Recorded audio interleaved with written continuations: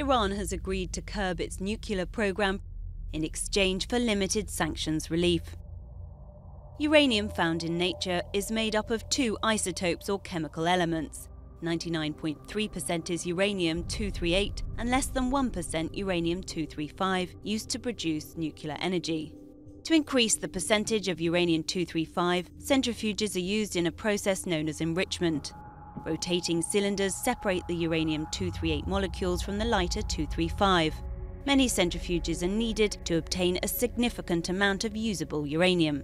To generate power, uranium 235 must be enriched to 5%. Uranium enriched to 90%, however, can be used to make a nuclear weapon.